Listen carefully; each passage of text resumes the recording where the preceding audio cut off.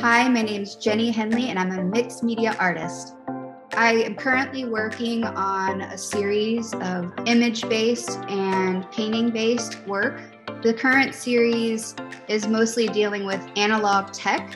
When there is an encounter at an art festival with my work, there's so much joy and happiness, and it's really an educational thing for a lot of the younger folks that come in. Um, I get a lot of stories, a lot of stories, and a lot of I had that or I wanted that the nostalgic sensibility in the booth is just what really it's about. I want the observer to be one with the piece, to share a moment with the piece and really engage them.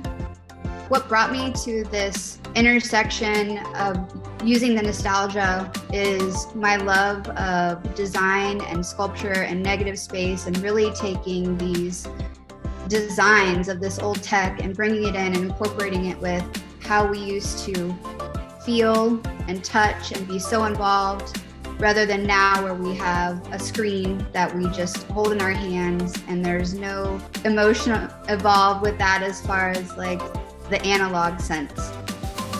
The mediums that I'm using are painting and photography, and I have a sculptural background. So I'm hand selecting all of my lumber.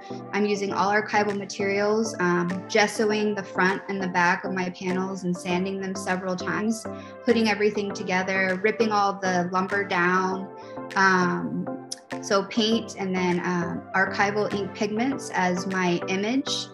And once that image is placed, I hand paint around my imagery, and that really gives it the contrast, that pop.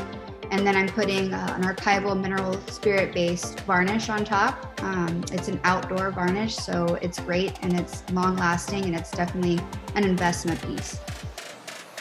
When I'm creating my work, it gives me so much joy. Um, every piece that I do, uh, it really brings my heart and soul from when I grew up and music in general, just the excitement of music and bringing me back to that time of hanging out with my friends and the boombox piece that really brings me back.